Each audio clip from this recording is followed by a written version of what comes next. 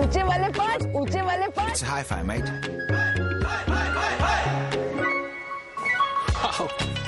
PG ਤੁਸੀਂ great ਹੋ